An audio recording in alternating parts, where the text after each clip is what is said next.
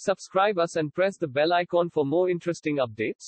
Media మిత్రులందరికీ నమస్కారం నేను మీ రఘునందన్ రావు భారతీయ జనతా పార్టీ అధికార ప్రతినిధి రేపు ఆర్టీసీ జేఏసీ ఆధ్వర్యంలో జరుపు తలపెట్టినటువంటి చెలో ట్యాంక్ బండి కార్యక్రమంలో అన్ని రాజకీయ పార్టీలతో పాటు ఆర్టీసీ కార్మికులు వారి వారి కుటుంబ సభ్యులతో కలిసి పాల్గొని పోలీసులు ఎన్ని ఆటంకాలు పెట్టినా ఎన్ని అవరోధాలు ఎదురైనా రేపు జరుప తలపెట్టినటువంటి చెలో ట్యాంక్ బండ్ కార్యక్రమాన్ని జయప్రదం చేయాలని చెప్పి సవినయంగా వారికి అందరికీ విజ్ఞప్తి చేస్తూ ఉన్నాను.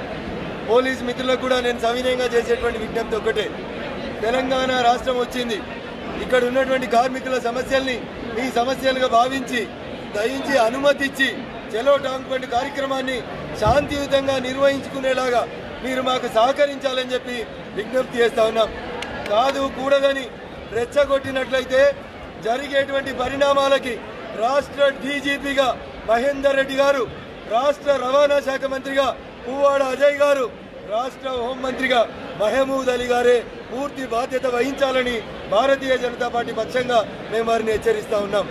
అరెస్టులతోటో అణిచివేతలతోటో ప్రివెంటివ్ అరెస్ట్ల పేరిటను రేపటి చెలో ట్యాంక్ బండి కార్యక్రమాన్ని విచ్ఛిన్నం చేయాలనేటువంటి ఆలోచనను మానుకొని హైకోర్టు ఇచ్చిన సూచన ప్రకారం వెంటనే ఆర్టీసీ జేఏసీని చర్చలకు పిలిచి కార్మికుల న్యాయమైనటువంటి కోరికలను పరిష్కరించాలని ఈ రాష్ట్ర ప్రభుత్వానికి భారతీయ జనతా పార్టీగా మేము విజ్ఞప్తి చేస్తా ఉన్నాం